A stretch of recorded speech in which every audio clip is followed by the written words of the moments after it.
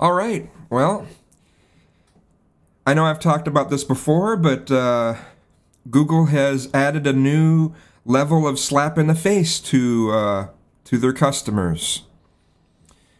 Okay, the the Google product forum, people are saying, "Hey, all activity button is gone. What's up with this?" And YT Danish on November 19th said, "Thanks for the feedback." We'll pass that on to the team.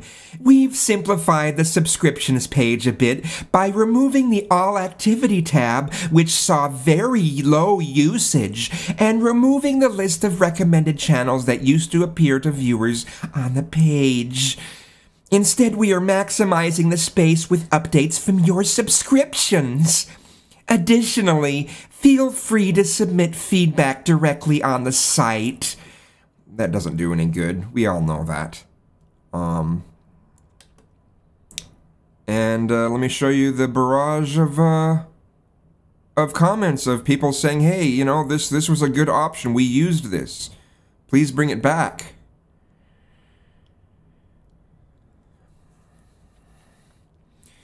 do do do do do do do do do do do do do do do do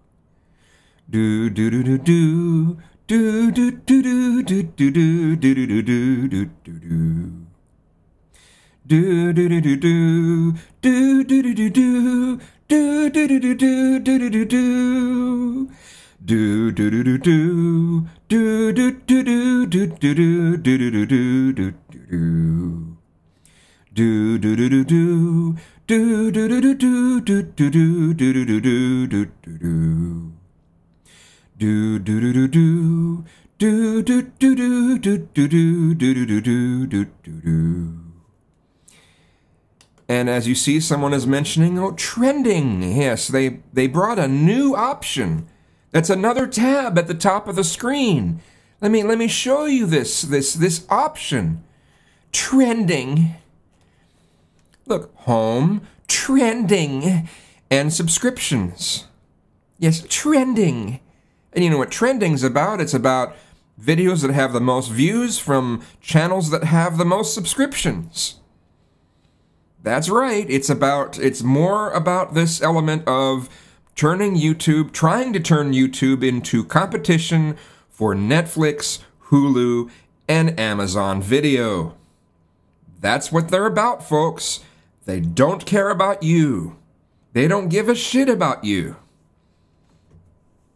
On the mobile app, um, they've made it so the Creator Studio, which is the only way you can keep track of comments that are being left on your own videos. Um, yeah, the comments, the, the initial comments are shown chronologically, but comment threads are completely out of order. They've never fixed that. And on the new, uh, the new Google Plus app, you can't really keep up at all with conversations that are happening on YouTube. They've, they've, they've, they're taking that away. They've taken that away. They hinted at taking it away on the desktop, just like they originally hinted at taking away all activity on desktop, and then brought it back, and then took it away permanently. You know that that's coming on the desktop. Soon you will not be able to, to keep track of any of the comments through Google Plus. It's probably going to happen as soon as they switch to you no longer being able to use the classic Google Plus interface, and they will change the uh, they will change the notification bell to be different, and we'll be all sure to hate it because they are trying to remove all social features from from especially YouTube they're trying to remove all ability to have esoteric discussions that you can keep up with on YouTube because they want it to be more like mainstream media. And they're, as I've talked about before, they're trying to remove the social features from Google Plus. They want it to be about the uh, collections, which is like uh, Instagram and Pinterest. Pinterest.